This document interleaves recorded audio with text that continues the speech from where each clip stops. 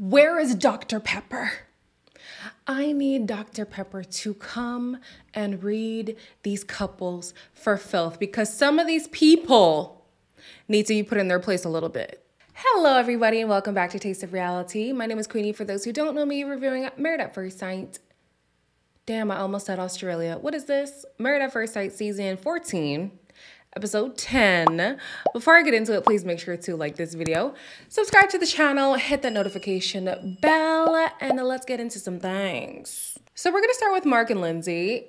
Uh, mm, Elaine, stop. so although Mark is a people pleaser, he's unable to please Lindsay's whole person. And I was like, all right, leave. I'll get my vibrator. I got this. so weird because he's also he's such the pleaser. You would think he wouldn't. No pleasing here, girl. No pleasing at all. He alleges that he wants to have an emotional connection before he engages in sex again because when they did, um, it wasn't always great and he felt like it was being forced. And I'm just like, yeah, this is confusing because you say, he said this on the show and he also said this on the after party, that like sometimes it's spur of the moment and sometimes it's like it's being forced upon you. But then now, per Lindsay's account, it's like, no, you want to just get yourself off. And then I'm here unfinished, looking for someone to do the rest of the job. And then you go to the zzz, if you know what I'm saying. So I'm like, yeah, maybe they actually need to speak more about sexual compatibility, what they need from each other. Because if you're saying you're pulling back and waiting for the emotional, these spur of the moment things is confusing. It's sending mixed signals and it's unfair to your partner. Dr. V asks about their sex life, and immediately Lindsay's like, it's dead. We have nothing. And I'm like, girl, okay. I'm kind of catching the trend that she downplays it whenever she's frustrated with Mark. It wasn't bad for the first time. Okay. It wasn't really satisfying. okay, but it was. It wasn't bad. No, I felt like, oh, he's really passionate. He's romantic. Great. He could probably handle me.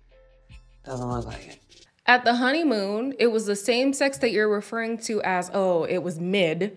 But back then, you know, oh, he rocked your world and you're so in love with him and all this stuff. I'm like, these two, they both, they both like to throw jabs. You remember a few episodes ago, um, she was like, well, how about you call your mama? And he was like, how about you have another drink? Like they just, it's tit for tat with the two of them, and they don't realize that these words stick. They leave an impression. And even when you've moved past something, the scar is still there, and I feel like it's unnecessary. Like there's no there's no need for the jabs. Like y'all are already going through enough in this process. Um, in the midst of a Nerf gun fight that Lindsay orchestrated just to lighten the mood between the two of them, they get the intimacy box, and I'm not gonna lie to you guys. I could have gone my whole life, my whole life without having to see this visual. And because I was subjected to it, you must be too. Yeah, we're suffering together. They're gonna come back again, I think, a little bit near the end. So we're gonna move on to Ola and Katina. Dr. Viviana visits them and she grills Ola on his archaic archaic views of marriage and how he's all of a sudden made a cooking wife, having a Stepford housewife, a prerequisite for his partner. Now I question are we mentally on the same level? Mentally? Like, no, like. You're questioning her no, mental capabilities based off of wanting to clean maybe I'll, less? I'll put it like this. No, it's not even like I put it this way. That's if, what you just said. If I saw, no, 100%. He's then asked if that's all it is, the cooking and cleaning. And he's like, oh no, that's not just it and then goes and lists a myriad of reasons why he's unsatisfied with Katina. And you know, normally I would love hearing people on the show say my wife, my husband, because I feel like they're getting more used to those titles and like falling into the role, right? Excuse me. In this case, I kind of just want him to call her Katina. Because if he calls her Katina, I feel like he's accepting her for who she is, is really looking at this is the person that I've received. This is the person that I'm building a partnership with. How can we make this work? Whereas when he keeps saying my wife, my wife, my wife, I feel like he's stuck on the image that he came into the process with rather than accommodating his views with the partner that he's with. Like, not accommodating, that's not what I mean, but like meeting in the middle You know, you can have your expectations, but the reality is this is the person that you're with. So find a middle ground that y'all can both be comfortable with instead of saying, my wife, my wife, my wife is supposed to be like this. You ain't got that. So what else are we gonna do about it? As the conversation is going on, essentially, Ola calls Katina lazy, childish, selfish, and I'm like, damn. Oh my gosh. Then, you know, we see her get emotional, and it's really heart wrenching to see her get emotional, especially because last week she said she either um, cries in, in private or only really cried when she was in an abusive relationship, a verbally abusive relationship. And now here she is in your presence crying because of your words. Like to you, all of that doesn't connect for you. And as she's crying, this man does not console her. What is the struggle there? It's just his tone. Like, I feel like someone's beating up on me.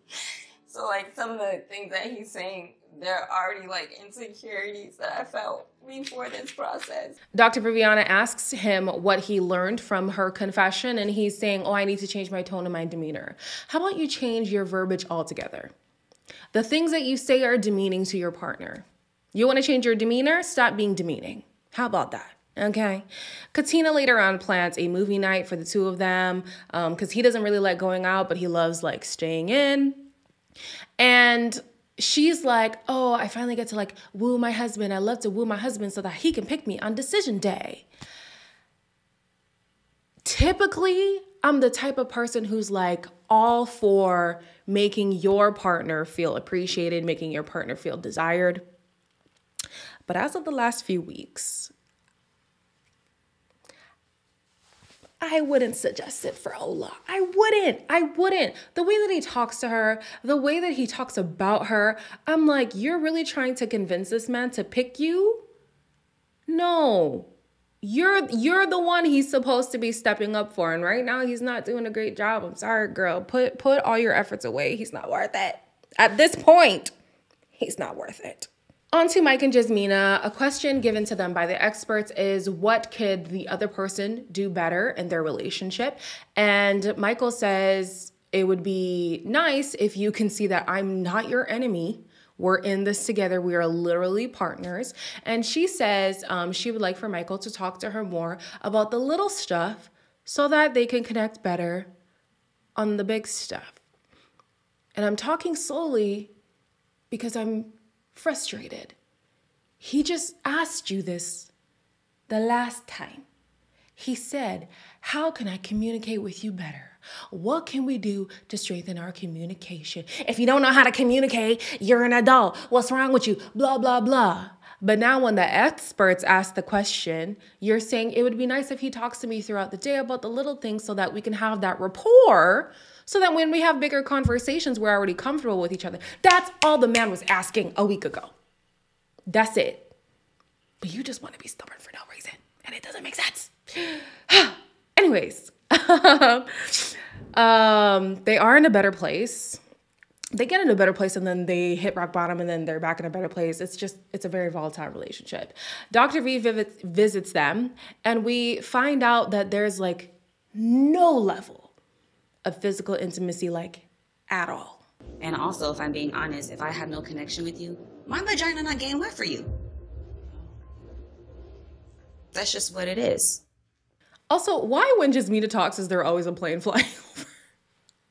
is the plane truly flying over or are the producers being shady? Because really, every time she talks, there's a plane. Anyways, uh, it's kind of like they're trying to mute her or whatever.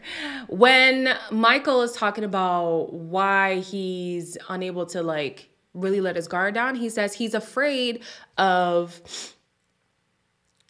I guess, experiencing the conflict that they had earlier on. He's afraid of it coming back up, right? And Jasmina's like, well, that's not going to happen. I don't hold it against you.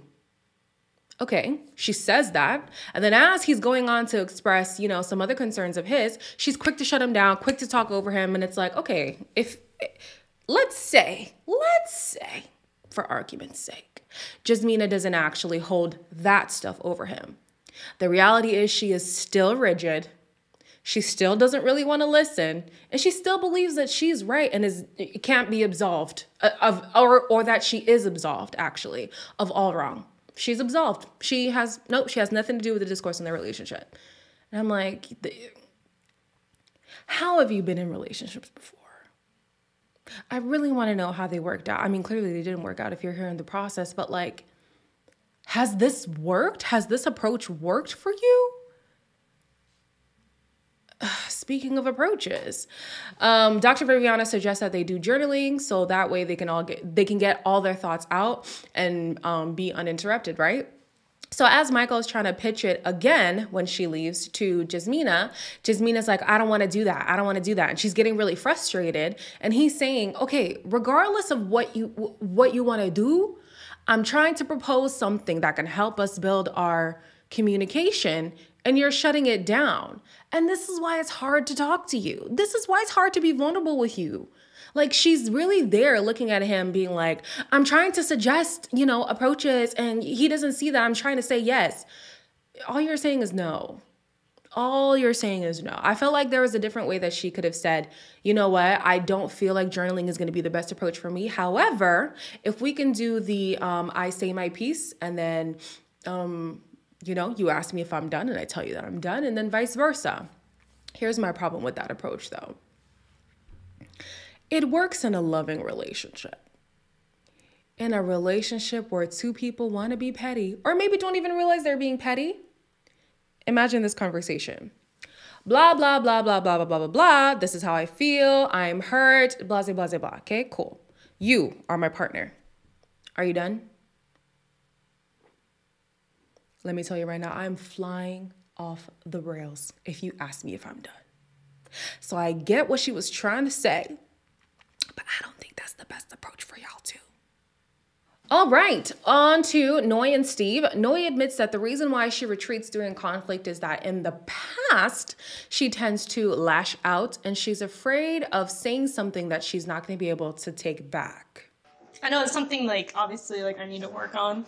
Um but like I just like don't ever like want to put you in that situation again, but also recognizing that like I can't do it like overnight. Like it's gonna take a lot for me. So clearly, she's trying not to repeat what she's done in the past that's led her to failed relationships. But the problem is that she overcorrected and now she swung the pendulum the exact opposite direction and retreating kind of does the same thing you know lashing out at me or icing me out completely both of them does not resolve the conflict. So she definitely needs to find a way to ride the middle and hopefully um, steve really explaining to her how that hurt her and why that behavior is unacceptable is going to lead to some change behavior from her.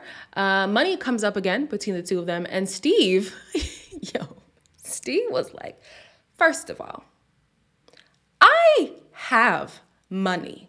Not only do I have money, I can get a job if I wanted to. And on top of that, I create a comfortable life for you. You have a clean home, you have cooked meals. I don't see you complaining. What's the problem? And she's like, Well, I, I want a partner who has a job. And she's just so stuck on having a person who works. If y'all had enough savings, would you ever be okay with him being like a stay at home husband or dad? It's just not what I want or ever envisioned, like for my marriage. Steve's argument is listen, 50 50 sounds nice until you actually have to do 50 50. Right now, I'm doing a lot of the a lot of the house stuff and I'm also contributing financially. You might not see it because I'm not actively going to work, but the, the finances are okay. We are comfortable you know um, with noi i get it it's it's it's also an archaic way of thinking of like you know somebody has to have a nine to five in order to have a stable lifestyle but if he's if he's really you know good on cash then girl he's good on cash he's approaching 40 I mean, he could afford to to not work for four months, travel the world, gallivant, and listen. You actually have to have money to gallivant. That's the thing. You actually need money to gallivant. So I think you're gonna be okay. So the guys and girls are doing their social thing again. There's a lot of social activities this season. The girls are doing some aerial yoga situation with the ropes and the flipping and the flapping, and the guys are doing ice hockey. Oh, poor Mike. He's never he's never skated before, so this was I don't know. I thought it was cute. Jasmina is talking about um, what she misses in dating and she misses the chase she misses being pursued and the wooing and to me it's starting to make sense because she it's like she wants Michael to just constantly be chasing her, chasing her, chasing her. But what she doesn't realize is you're already married. You can stop running. That's not to say the romance dies. That's not to say he doesn't woo you, but like you're still running. She's actively running. Stop running. He's here. Work on your situation. You know what I mean? And then you have Lindsay who also says um, she misses the wooing and the chasing as well. However, she's gonna be content right now, right now, because they are having sex again. However, um, there was something. Yeah, she does still want to be wooed by him. She feels like Mark has gotten too comfortable and like they've kind of like opened the curtain. You know what I mean? Like they've seen backstage all the all the secrets have been revealed and it's like, dang, kind of missed the mystery. With the guys, we have them uh, ranking their marriage. Ola says that last week he was at a four, this week he's at an eight, and I'm like, this is an eight? This is an eight. You berating her about not being the perfect Stepford housewife is an eight. Okay. Michael says that uh, he's been at a two before in the marriage, but now, sorry, now he's at a seven. This is a seven? There's a lot that we must not be seeing because I'm like, what? Okay. Jasmina and Michael later on go and do some tantric yoga. And this is the most physical they've gotten that well, that's my assumption, but I'm pretty sure I'm I'm telling you the truth. They also have a box of questions. And Jasmina finally admits that she hasn't been vulnerable and hasn't allowed for Michael to have a safe space in their marriage. I have to create a safe space for you to trust me and me getting giving you certain reactions when we've had conflicts i see why you've been the way you are but nothing is always completely your fault.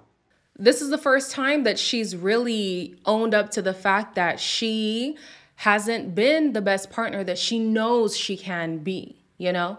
And it came off the heels of him admitting that he wishes he trusted her more. And I think that's that's something that they're both lacking. It's like they're looking for the shoe to drop so that they can prove that, "Oh, see, I knew it wasn't going to work." Just throw yourself into the process and see what happens.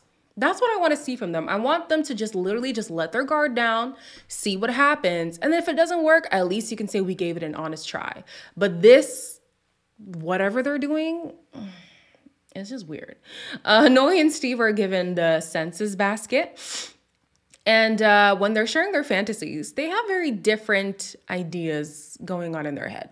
Taking a shower and washing each other with soap and water, washing the other person.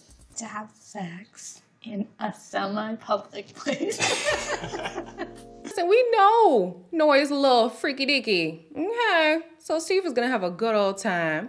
They also share their fears, which is, you know, the fears are things that we've already heard. They burn them up to, I guess, symbolize letting them go. Um, I'm still rooting for them. I still feel like they're gonna make it. I just feel like, you know, a little bit of the immaturity stuff can be fixed, but you know, it is what it is. With Katina and Ola, they get the intimacy basket, and she says that she likes someone who's a little more dominant. I do like someone who's gonna be like, er, like I like yeah. that. We're getting closer. Now, I wonder if this is something that she shared in the past because maybe that's why Ola feels like testing her is the way to go, being so vocal is the way to go. Like, maybe this is where it stems from. He's aware that she likes a guy who takes charge a little bit. She said not controlling and he's giving us a little bit of controlling. But um, yeah, they end on a good note, which is great. But based on the preview, it's not gonna last for long. I'm about to film the after party, so stay tuned for that.